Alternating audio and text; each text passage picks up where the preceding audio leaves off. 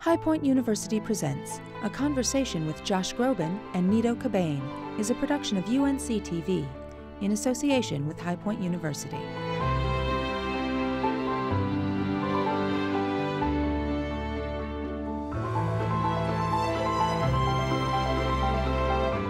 Hello, I'm Nido Qubein, president of High Point University, and I welcome you to this program on this day. I'm delighted to introduce to you a wonderful human being known the world over, a multi-platinum songwriter and singer and performer admired by audiences on every continent on this globe. He is visiting with us at High Point University, and I get a chance to interview him here right now.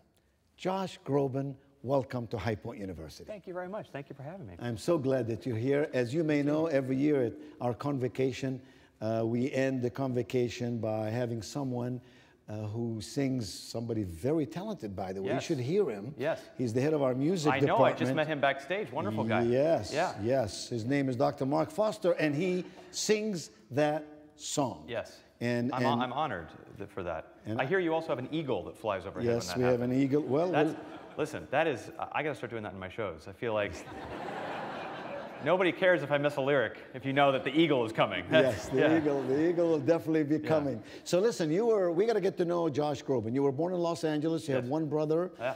uh, younger than you, called Chris. One younger brother. We have the same birthday, four years apart. Yes. Uh, yeah, yeah. Uh, I got a younger brother on my fourth birthday, which was. Uh, we're best friends now, but Yes. at, at the time, that was not a cool day for me. that was, yeah, I was expecting a clown party, and we're straight to the hospital. But yeah, I love, I love him to death. His name is Chris. Yep.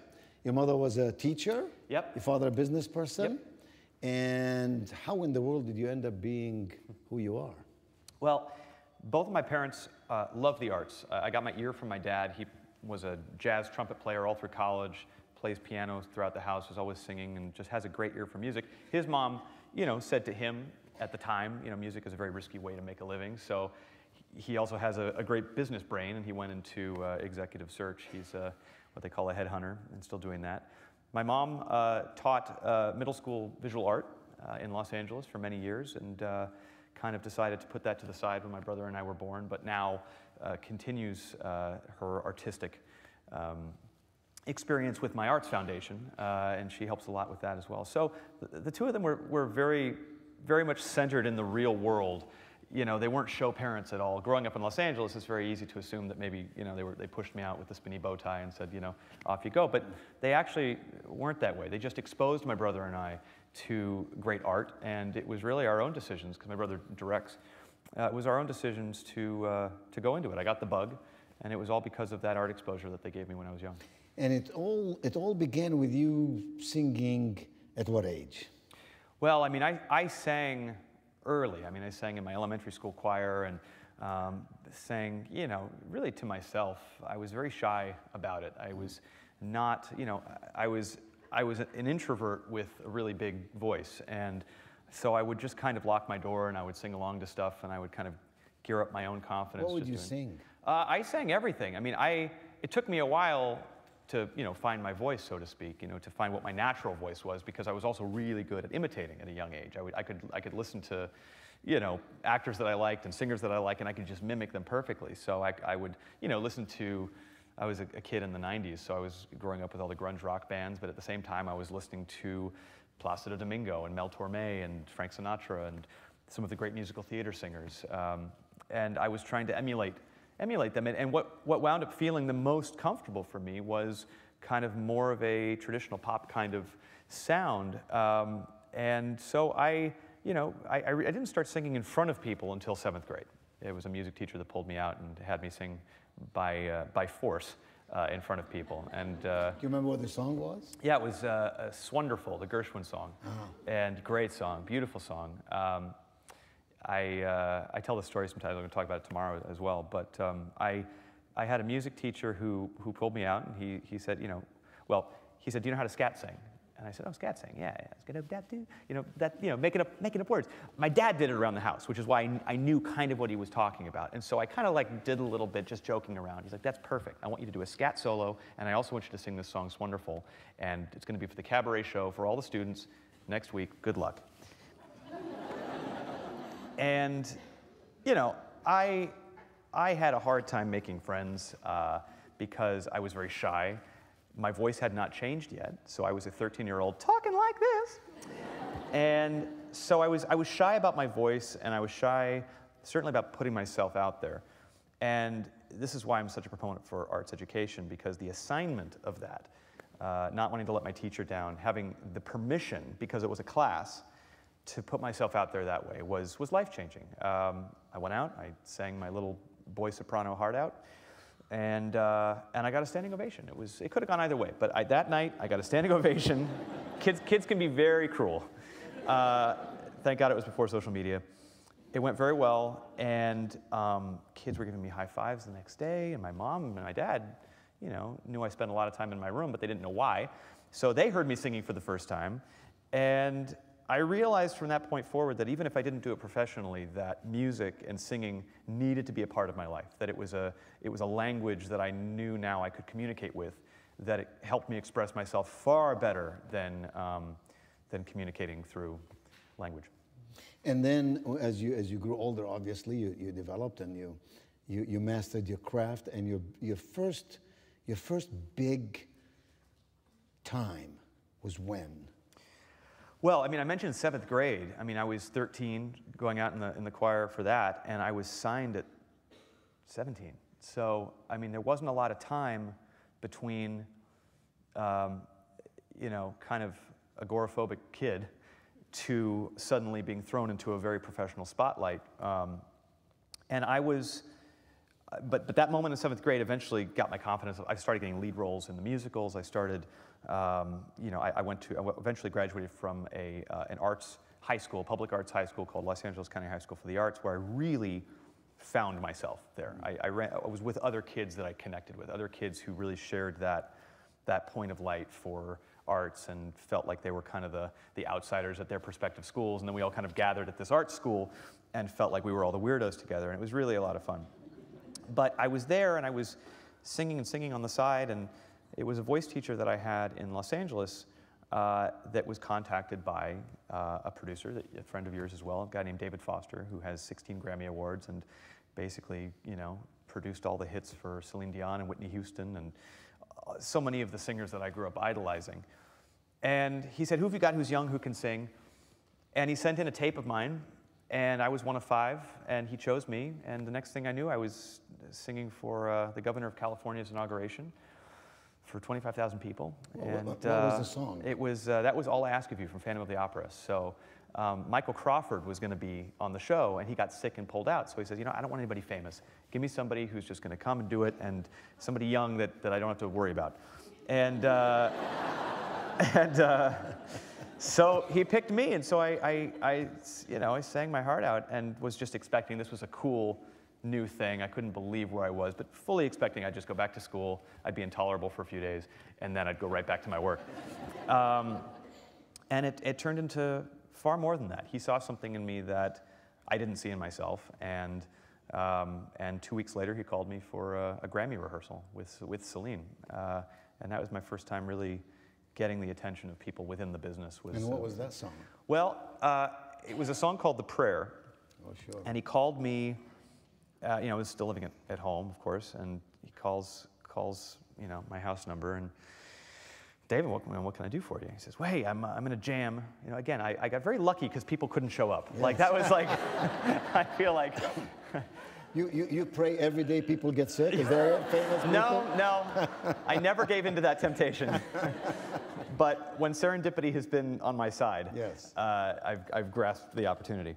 Uh, so so Andrea Bocelli, who was the original singer of this song, extraordinary singer and wonderful guy, uh, he was, his flight was delayed. He was in Germany. He was doing a concert, couldn't make it on the flight. Celine was in LA. The Grammys were at the Shrine Auditorium in LA. David had this song. He said, I'm here, I'm with Celine. We need somebody who can sing it. I'm, I'm going to fax you. We had fax back then. Uh, I'm going to fax you the lyrics. I'm going to send you the song. And, uh, uh, and if you can learn it, I need you, I need you here in, in you know, six hours. And, you know, I'm listening to it, and I'm listening to Bocelli's voice, and, you know, I'm a baritone, and Andrea's, you know, got a Pavarotti-esque high, very high tenor. And I'm listening to these notes, and, and I'm going, hmm, that, that is, that, yeah, that's Italian. Yeah, that's Italian. Um, yeah, good, good. And um, so I'm, I, I, I, was, I was terrified, and I just, I basically said to him, I, I don't think I can do this. I, I, this is, thank you, thank you for this opportunity, but I think this is a little out of my realm. Thank you, thank you, goodbye. And I, and I sat back and I was, I was equal parts relieved and so mad at myself that I had done that. And, you know, I told my parents and they're like, oh, oh, yeah, no, that sounds hard. Yeah, okay. Are you sure? Are you sure you wanted to say no? I'm going, yeah, yeah, no, I've made up my mind. Ring, ring, ring. He calls back again. He goes, yeah, I don't think you understood me. Uh, I'm not asking you. I'm telling you. Get your ass over here. Uh, I'll see you. I'll see you at six o'clock and that was it. I got the lyric out and I started writing the, you know, phonetically, trying to learn the Italian, and, and I'm, I'm, you know, tightening my pants to get the notes, and uh, I'm, I, I went out there absolutely shaking like a leaf. I'm out there, I'm standing on this X out on the Grammy stage, and they're going, where's this Josh Brogan, Bogan, where's, this, where is this guy?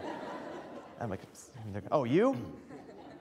All right, whatever. Stand there, and uh, Celine came out with her entourage, and I got air kisses. It was wonderful. Um, and she was so kind, so friendly. I couldn't believe how kind she was because she didn't have to be. You know, I'm a nobody. I'm out there. I'm a teenager. I'm a fill-in singer. I'm a stand-in. And, and she immediately, because she's so in tune with people, it's what makes her a great artist, she could see that I was in my head. She could see that I was swimming in anxiety. And so she, she said, to, you know, she, she takes my hand, she goes, for this first run through, let's hold hands for this one. Let's hold hands for this song, you know? I'm thinking, yes, thank you very much. Good idea. and so, you know, I'm, I'm out there and I'm singing with her and she just keeps squeezing my hand and the notes came out and the, the, you know, the Italian was, was 80%, but enough. Uh, and, uh, and so, and, and, it was an amazing moment. It was one of those moments where, just like that teacher, I felt like I had someone who really pushed me through the doubt and said, I'm not asking you. This is your assignment. I believe in you, and you can do this. And, you know, cut to, you know, a few years later when I eventually got a record deal, that song played a huge part in my life. I eventually recorded that song on my first record. I sang it at the closing ceremonies of the Winter Olympics. Um, ten, I sang it with Celine on her TV special on CBS. And, I, and then 10 years after, I sang it for that Grammy rehearsal. I sang it with Andrea on the actual Grammys 10 years later. So it, it's amazing how those moments that you think of as, ah, I better say, ah, I don't know, thank you, but ah, I don't know. They just, you, you decide to say yes to something like that. You push yourself through that thing and go for the ride, even if everything in your body is saying, this is going to be really hard. And it can change your entire life. You know, you never know. And some things, uh, it's the opposite. Some things you, you, you, you know, go into and expect a lot of things from it. You expect it, and this is if it never happened. But and the lesson that you extracted from that is what? The lesson for students, for young people who are trying to start out in life and who have anxiety and fear and that anticipation. I think, I think that you, you learn to you learn to to gauge what is good fear and what is bad fear. And that's something that comes from experience. I didn't have that experience back then. So for me, any kind of fear was, I don't know if I want to be part of this. You learn as you put in your hours when it's the kind of fear that makes you say, it's like a burn on your skin, you go, mm, that's bad fear. Mm, I'm gonna, I'm, gonna, I'm gonna be brave enough to say no to this.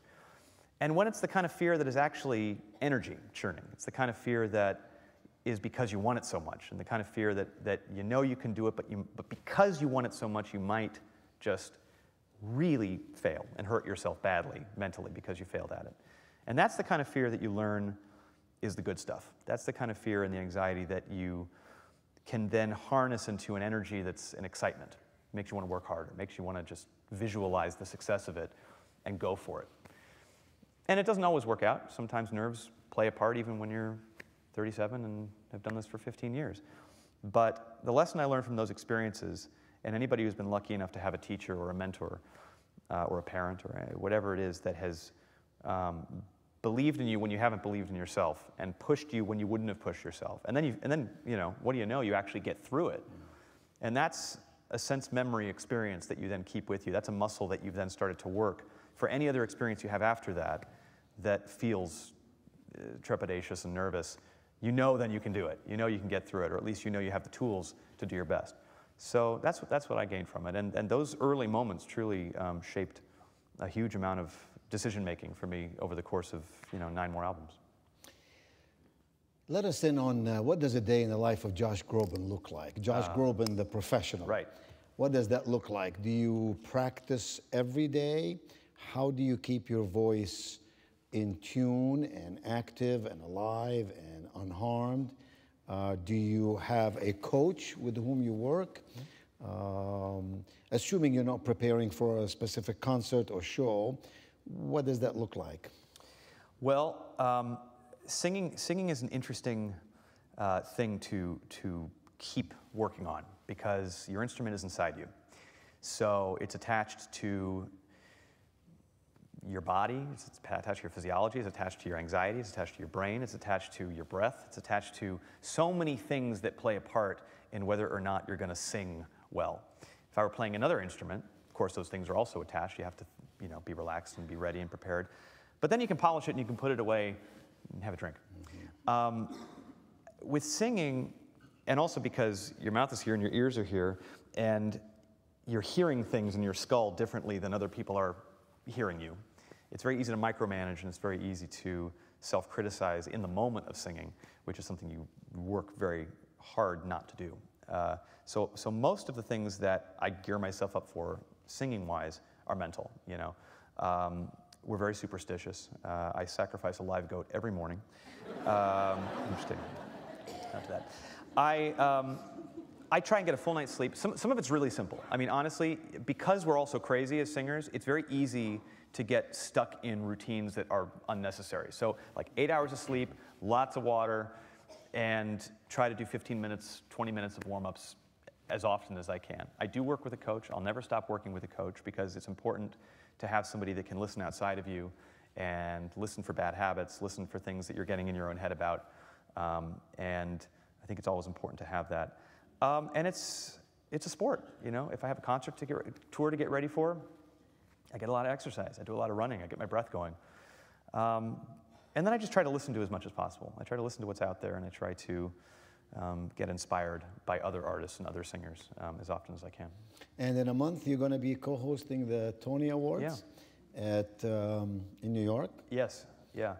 That uh, was a huge surprise to get that call. Um, my relationship with the Tonys has been. Has you're going to do that in English wonderful. or Italian? Uh, you know, we'll see. Gibberish if I'm nervous enough. Um, I, I got a call to do that uh, a couple, uh, a few weeks ago, and um, I'm going to be co-hosting with the wonderful Sarah Bareilles, who's been a friend for a long, long time and a brilliant writer, and she wrote all the music to Waitress and then starred in it. And we kind of come from very similar backgrounds as far as our, we come from more of a pop music side, but at the same time, theater and the arts kind of played such a huge role in how we developed as performers. So, um, and we both kind of came to the Tonys at the same time. She for Waitress, me for a show I did. I was nominated last year for a show called Great Comet of 1812, which I had a great time doing. And, uh, you know, hosting is something I haven't done a whole lot of. I, I've, I've, I've done it, um, you know, periodically. I did, did a network uh, music TV show that, that was just one summer. But, um, you know, it's a big responsibility. So that's, that's a perfect example of one of those just say yes moments mm. where, you know, you say to yourself, eh, Okay, yeah, no, that's the good energy. That's the good fear. Say yes to that. Go, go do it, and then work hard at it. So we're, we're currently getting ready for that, and that'll be a lot of so fun. So how do you prep for that? This is going to be on CBS. So yep. when um, when I watch you on CBS that night, emceeing that show, I will know what that you have practiced. How many days? How many hours? You're memorizing everything. You're reading everything on a teleprompter. Um, oh yeah, it's um, it's it's one of those things where the, uh, the broad stroke ideas come from, from a very long time. We're starting now. We started last week. We're coming up with ideas, coming up with song ideas, opening ideas, costume change ideas, things that would be funny with the audience. You know, we, we start to throw ideas around about how to keep the show moving. It's a long show. And it's not just us. You've got tons of performances, tons of presenters. How do we best you know, keep the show moving along and stay true to ourselves? You know, how do we find an energy that is very you know, me and Sarah. Um, and then I think that I think that from what I've been told from other hosts that I've talked to about shows like this, Corden and people like that, is that um, you know it's a sprint to the finish. That in the final week before, and even on the final day, in the final couple of days, you know, script changes happen, things happen. You do a dress run for people, somebody doesn't laugh, you change that. And so it's going to be it's going to be crazy. Luckily, because I was part of a, a nominated show last year, I know what that craziness feels like as far as gearing up for the show. On the day that the Tonys were last year, we had a show that day. We, we had a matinee. So I show up at the theater, we did our show. We then change into tuxes at the dressing room of our theater. We then take buses to the Tonys. We do the red carpet in our tuxes. We run backstage, change into our costumes and makeup again, do our performance on the Tonys, immediately wipe off our makeup, put on our tuxes, get back in time just for the, the, the awards to be announced. So that was a, that was a sprint too. And then we had a show uh, the, the, next day. So, um, you know, I'm no stranger. It's again, it's that, it's that, it's that, uh, that muscle. Once you feel like you've been through that craziness, you kind of realize you, you're, you're capable of it. And so it's, it's going to be crazy. So I'm, I'm curious to know a couple of things about um, the life of a musician. Uh, for example, when you um, sing live at a concert, let's say, or performance, do you get nervous if the crowd is larger, or do you feel more energy if the crowd is larger? I am one of those people that gets more nervous if the crowd is smaller.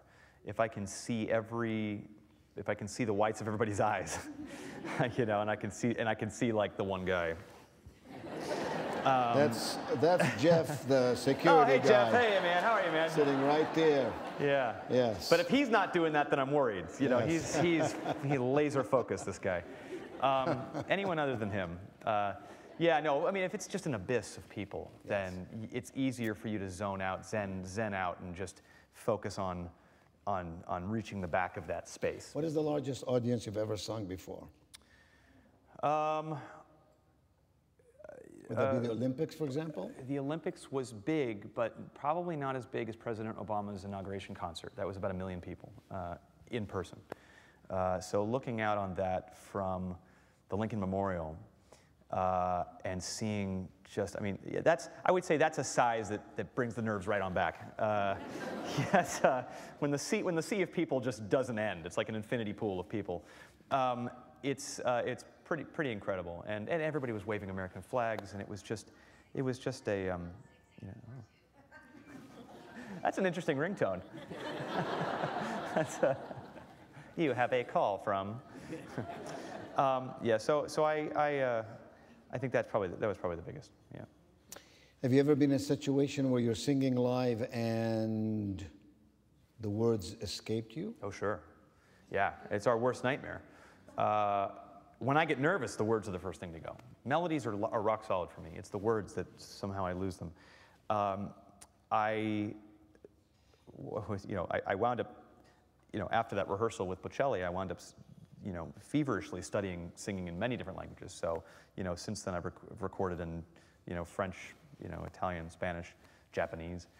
Um, but so, so sometimes when you're when you're singing in those other languages, sometimes the the some you get if you're you're nervous or you're tired, you've been doing a tour for 100 you days. Sang in Japanese because you wanted to, or David Foster? No, I wanted you? to. I wanted to. Oh. I, I wanted to. I, I took uh, I took Japanese in high school, so I, I had wanted. There was a song that I wanted to sing, and so.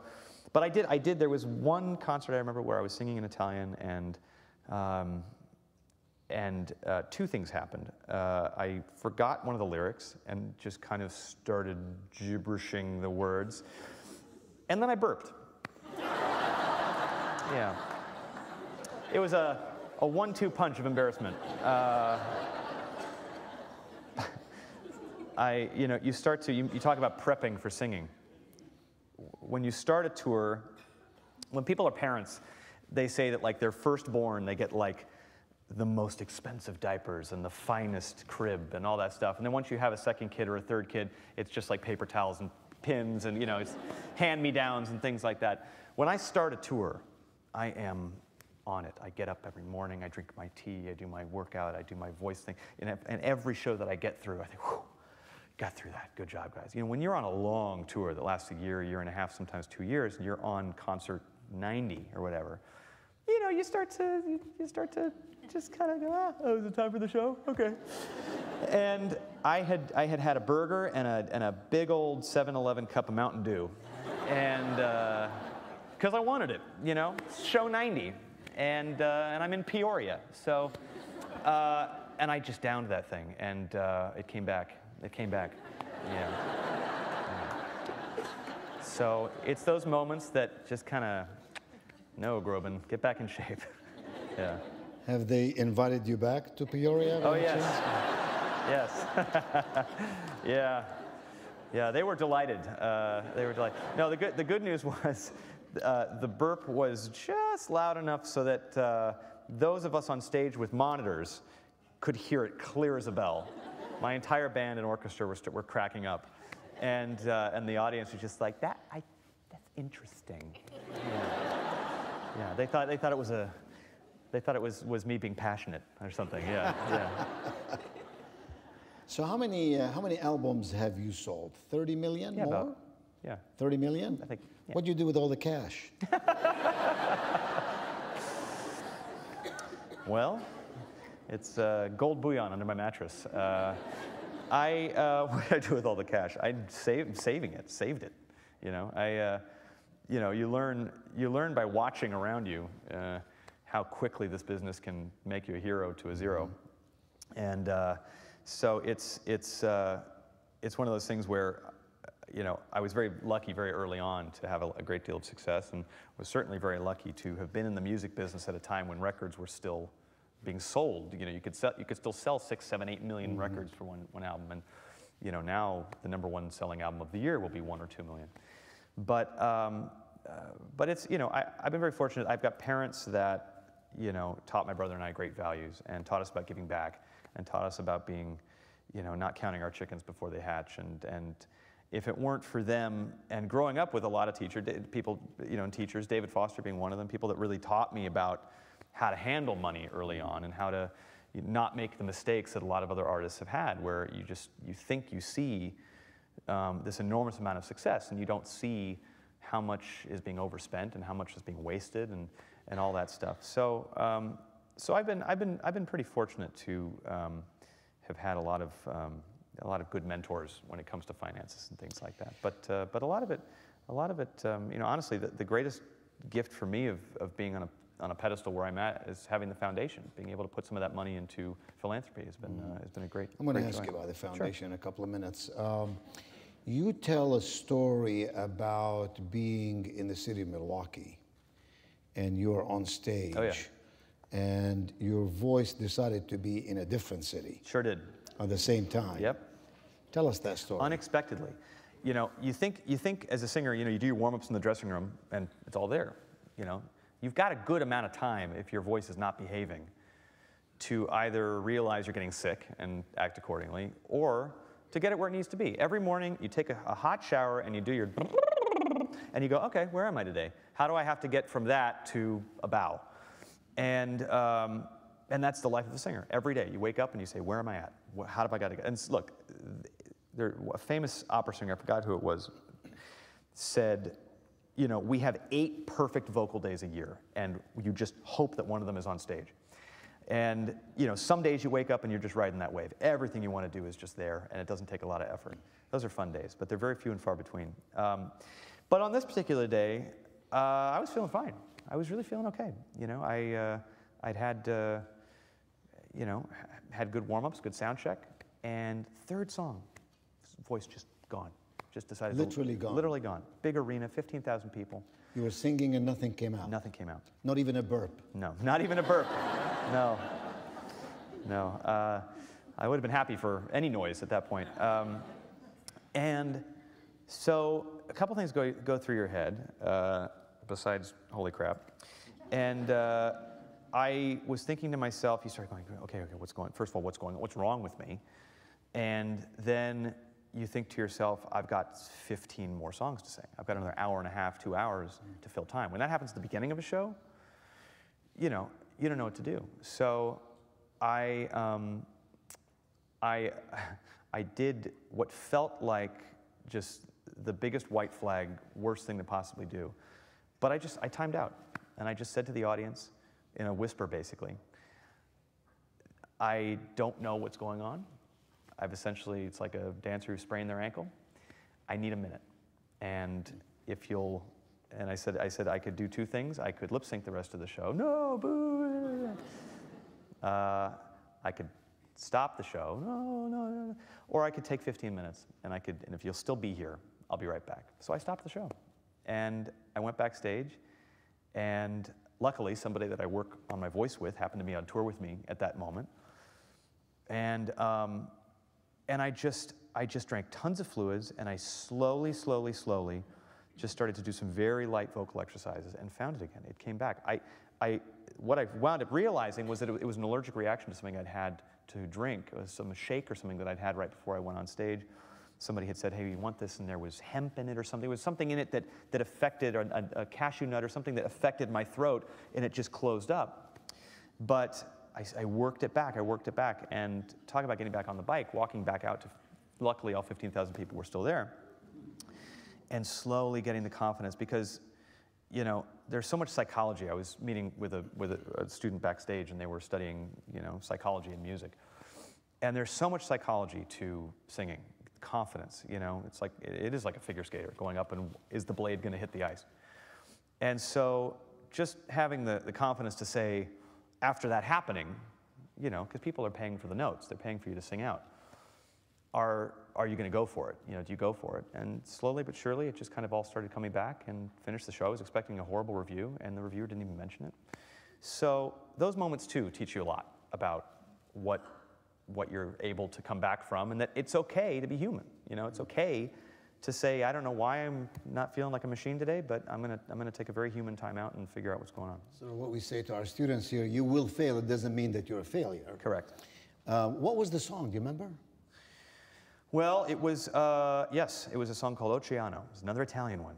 And, uh, and um, I, I, that particular tour, I was starting with a very hard song. And, uh, and it was one of those songs where uh, just by you know, by the middle of the song, I felt it kind of wavering, and by the second song, it was just, you know, no bueno. So, um, yeah, yeah. And every time I go back to Milwaukee, I just, yeah, so yeah. Come on, no shakes. So in, uh, in uh, 2017, you were walking your dog uh, out in. You have done your research, my friend. Wow. trust me, I'm not going to tell the listener and viewer everything I know, so you're safe with me. Oh, wow. Can you think of a city or a concert hall in which you performed that you found yourself then telling all your friends that was the moment of all moments? Oh, um, there have been there have been a few that that are you know just pinch me bucket list things. Playing Madison Square Garden for the first time was incredible um, playing a hometown venue like the Hollywood Bowl with my parents in the audience after being taken there since I was three years old is a really fun moment.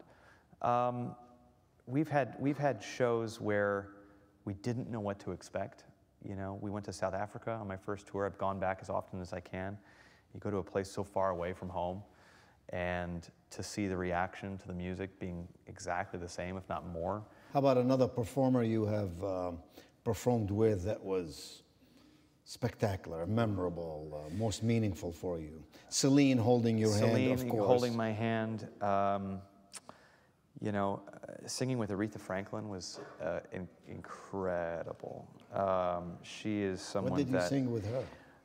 I sang with her. Um, we sang. Uh, we sang "You Raise Me Up" together. Actually, as a matter of fact, and she wanted to sing it with me, and we did it for Nelson Mandela's birthday concert at Radio City Music Hall in New York.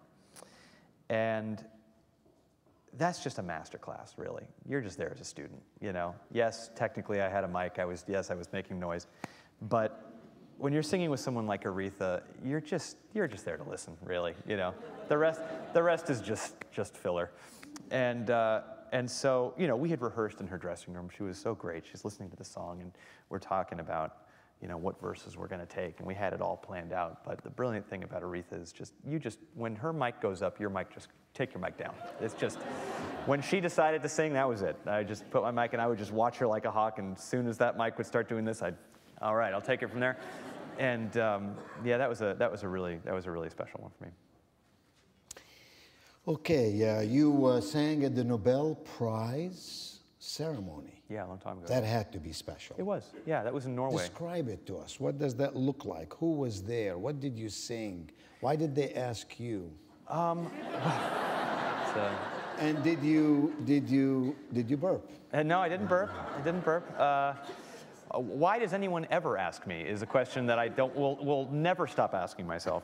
Um, but uh, the the the night itself was really was really great. Um, they were honoring Jimmy Carter that year.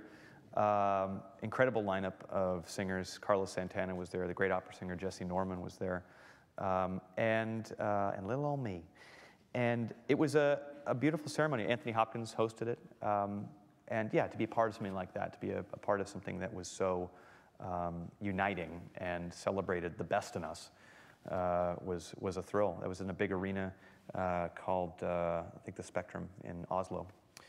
And uh, yeah, it was a beautiful night. And what did you sing? The prayer. yeah, it all comes around. Yeah. I was uh, not long after that had happened with Andrea at the Grammy rehearsals, uh, and I had released that first album. Uh, they, they asked me to sing that song with a, a wonderful singer named Sissel, who's a great opera singer in, uh, in Norway. And um, yeah, that was a very fitting song for that night. And you act Yeah, sometimes. on Netflix and other places Yeah, too. yeah. I, what, got, uh, what got you into acting, and which do you like more, acting or singing? You know, uh, music has always been my first love, and I think that when it comes down to it, that will always be my day job. Uh, I, I started acting because, you know, the fork in the road with David Foster was, would you like to have a record deal? And it was an opportunity to learn something new and to take that opportunity to run with it, to say, okay, yes, this could be incredible. I could learn a lot from this. And that has taken over my life.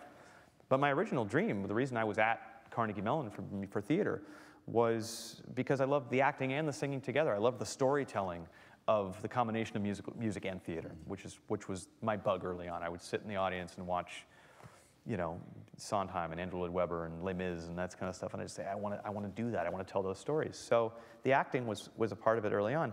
And then the first five years of my recording career, I really only just did the music. And then slowly I started kind of getting random offers from people. I would get calls from friends that were on shows like, you know, The Office and, and things like that, and, and Parks and Rec, and I do these little cameos, some of them silly, some of them just playing myself.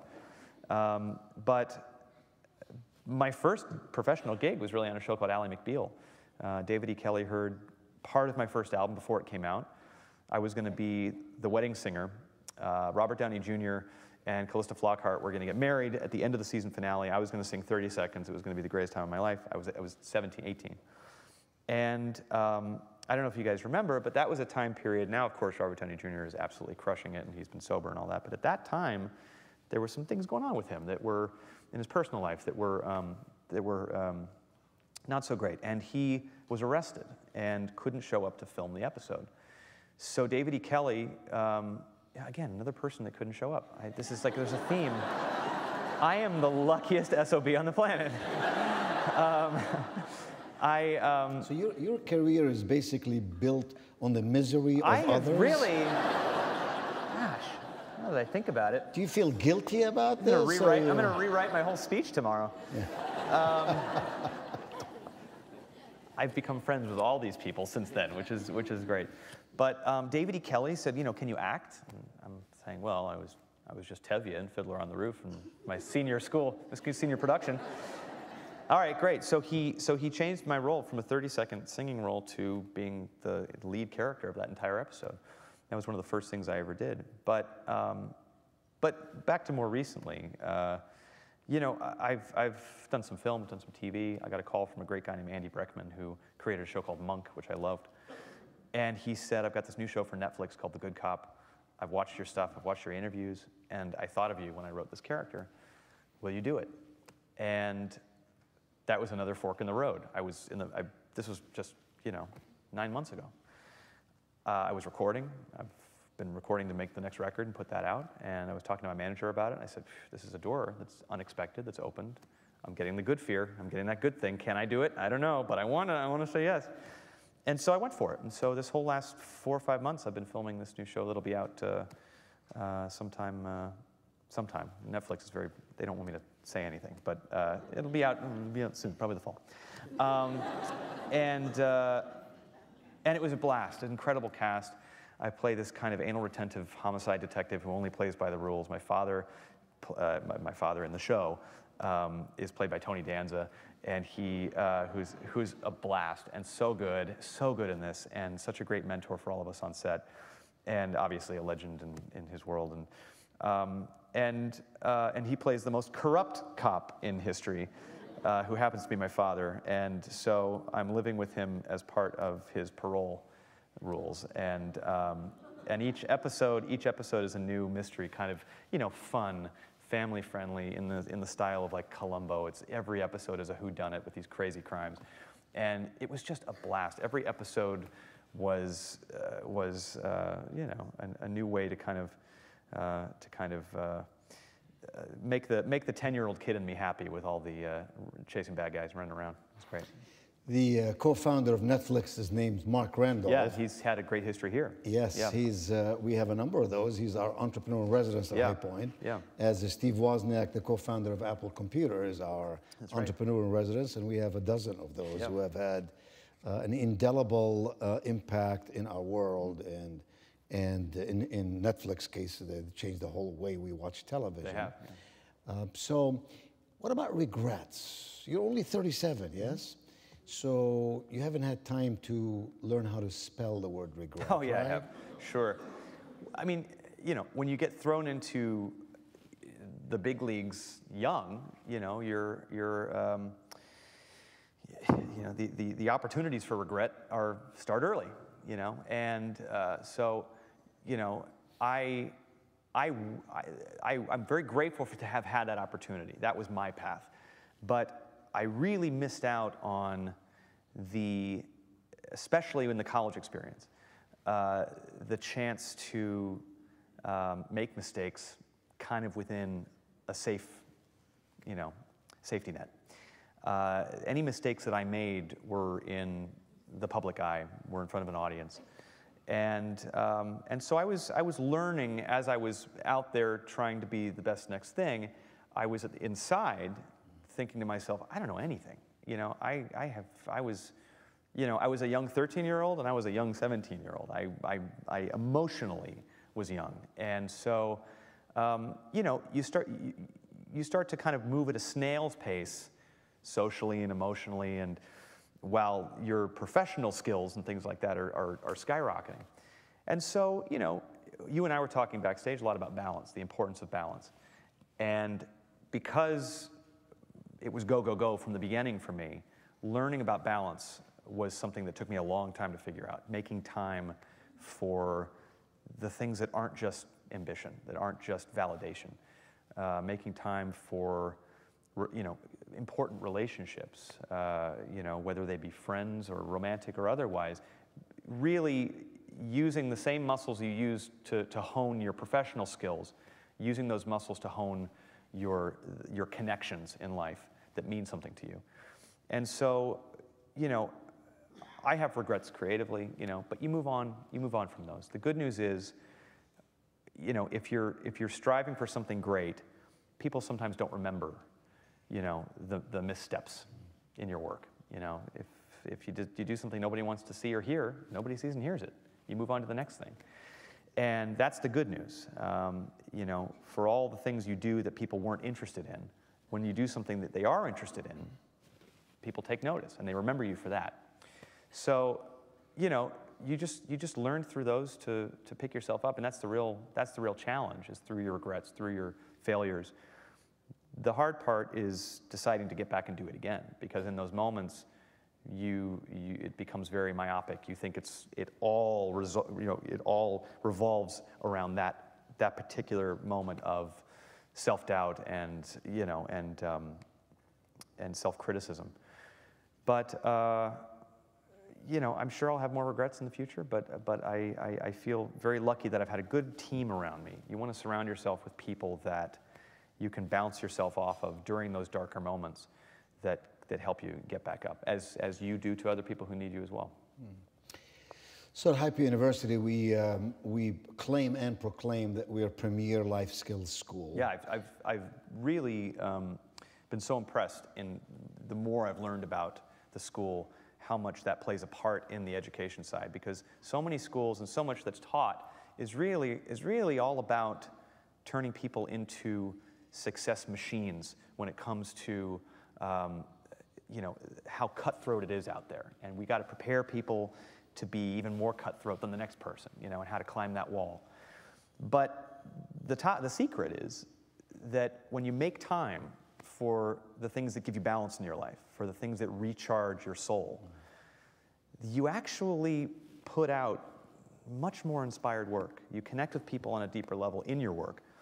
And, um, and so, I, I, I, to that point, I, I think that's, that's wonderful because um, when I've been, when I've made um, the least aware um, choices in my professional life, uh, they've been when my insides were a little empty mm. and I was wound up so tight uh, with the stress of ambition that I didn't think clearly about the connection.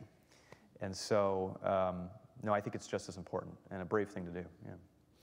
Well, you know, today, uh, if you're graduating students who are not prepared for an ever changing, ever competitive, global marketplace, then they're only trained, they're not fully educated. And we tell our students that we want them to have a life filled with success. You've had a life filled with success, sure. but that life must be framed with significance. Yeah. That uh, the two most important words in English language are influence and impact. Mm-hmm. You influence people, you impact the world. When you do that, you have joy in your heart. Mm-hmm. You do it with music, you do it with acting, you do it with your life, your life lessons, with your regrets, and so on. Christmas songs is something you like a lot, and you've recorded a lot of Christmas carols. I've recorded less than you would think. Uh, but that that particular then I album, bought, that, I only bought you Christmas carols. That that, uh, that album did very well. Uh, I um, yeah, and and uh, and and so and so I wound up singing those songs uh, a lot. I grew up with that music. I grew up with these songs. They're some of the most beautiful songs ever written. And of course, anytime you get to sing those songs with a big orchestra and the organ and all that stuff, it's uh, it was great. I, I did that Christmas album as a side project. I had some fans who said, you know, we would really love a Christmas album from you. Now everybody's doing Christmas albums. At the time that I recorded it, having a, a, Christmas album in the top 10 on Billboard was like unheard of. It was like a separate chart where people go, oh, that's nice. And uh, so, you know, I recorded it and we realized we were kind of onto something special while we were listening to it. We just got goosebumps. Said, This is, this is great. And, um, you know, when Oprah says, this is my favorite thing, uh, doesn't hurt.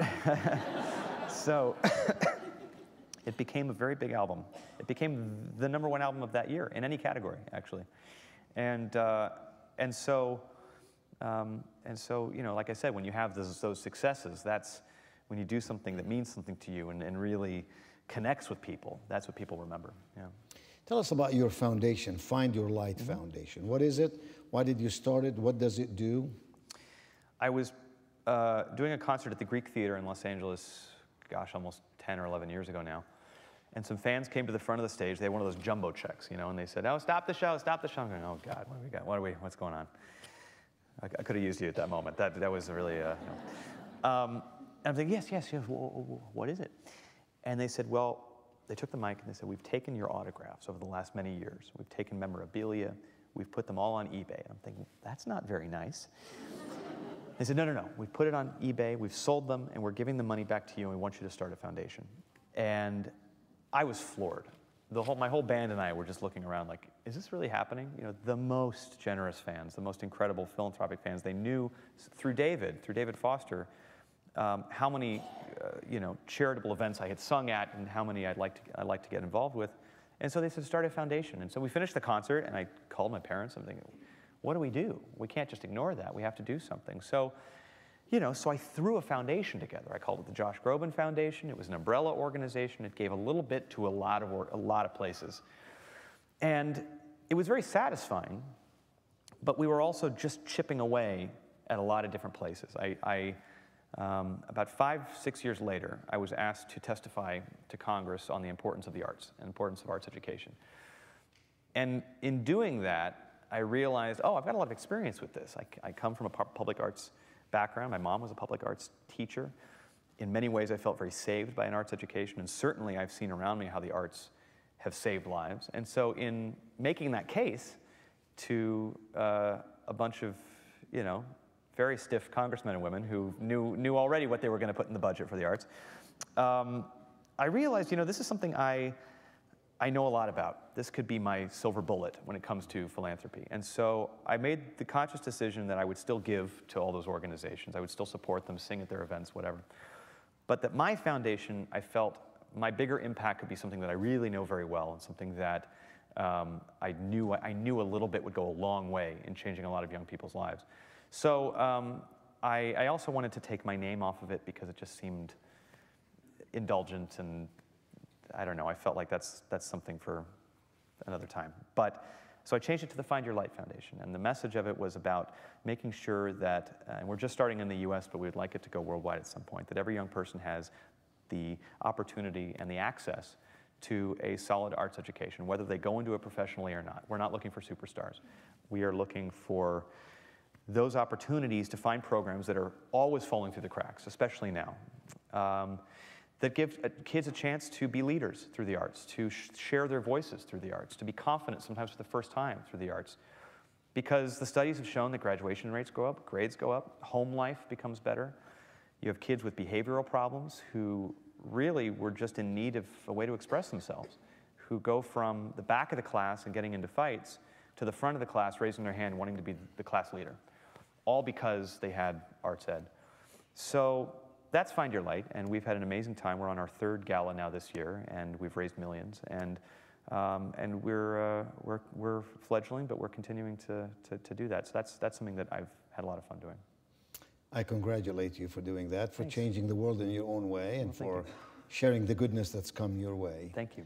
Appreciate and uh, this is what we say at High Point University. We are in the business of planting seeds of greatness in the hearts, minds, and souls of our students. Absolutely. That's essentially what you're doing in the Absolutely hearts and souls of others. Well, thank you for doing this. You know, I told you that uh, at the end of each convocation at High Point University, um, we, we have a very talented person on our faculty uh, sing You Raise Me Up. Yes. And I actually, it's part of my presentation, part of my speech, and I end by quoting you. I said, in, in the words of um, the song that Josh Groban made so famous. And then I read some of the words when I am down and all my soul so weary, when troubles come and my heart burdened be, then I am still and wait here in the silence until you come and sit a while with me. And then I um, have him sing the song. And then I end with this last paragraph or last verse which gets every mom in the crowd to cry. Would you read that last verse? and this do right it here? melodiously if you can. yes. yes. You want me to read it? Well, it's your thing.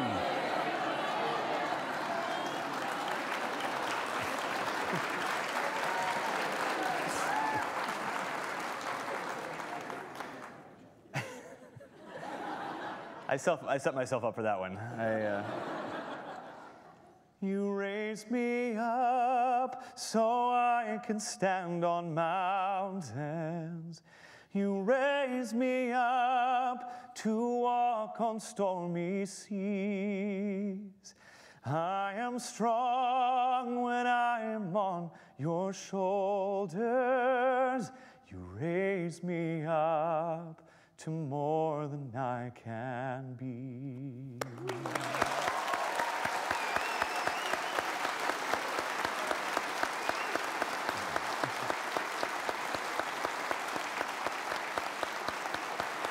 You know, you didn't need to hand this to me. I've sung this a few times.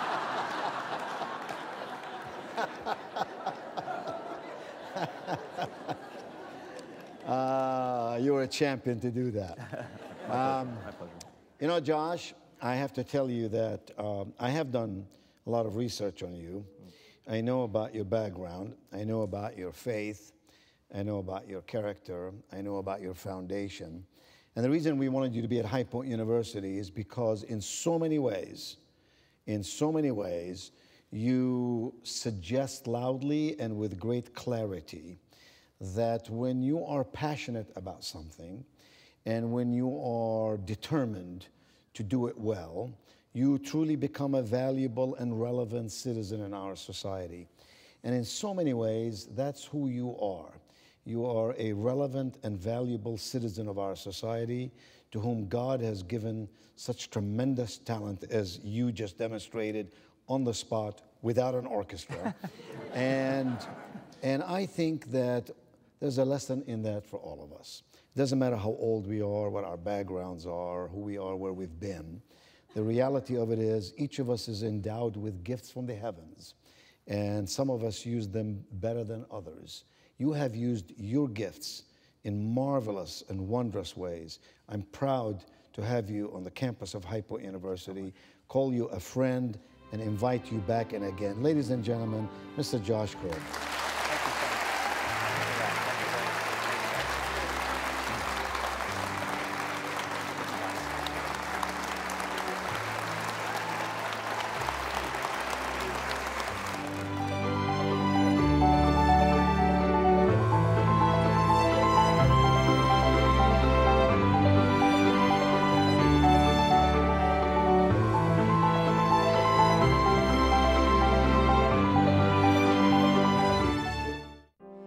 Public television is made possible through the financial contributions of viewers like you who invite you to join them in supporting UNC TV.